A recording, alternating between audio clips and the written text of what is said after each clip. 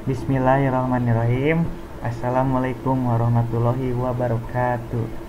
Perkenalkan nama saya Denny Irawan. Dari channel CPS System Saya akan menjelaskan kenapa WiFi gak connect. Contohnya begini. Sudah nyambung tapi tidak ada internet. Caranya sangat gampang sekali. Caranya ada dua.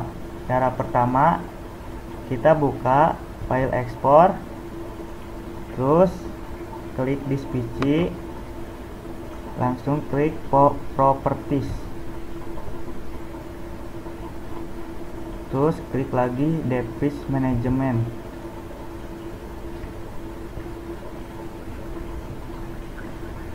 Terus klik network adapter.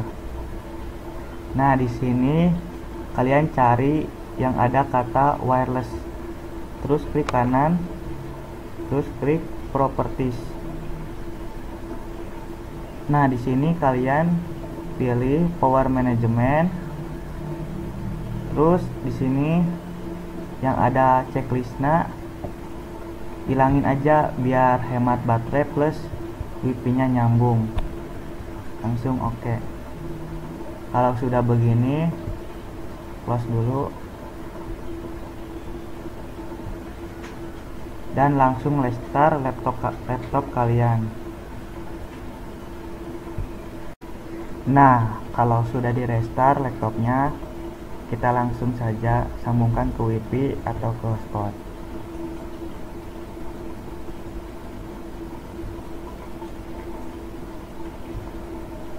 Ya langsung tunggu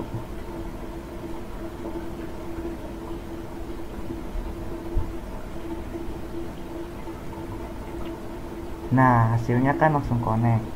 Tapi misalnya kalau cara satu cara yang ke satu gak bisa langsung cara yang kedua. Buka windownya terus klik setting. Terus buka setting.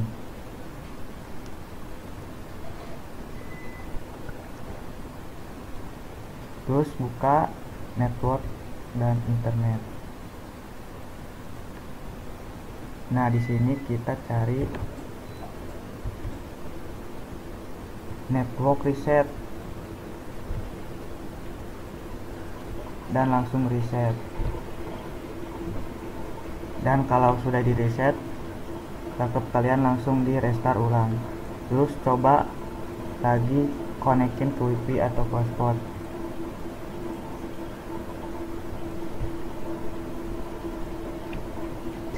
langsung terima kasih sudah melihat video ini. Jangan lupa like and subscribe video ini karena subscribe itu gratis.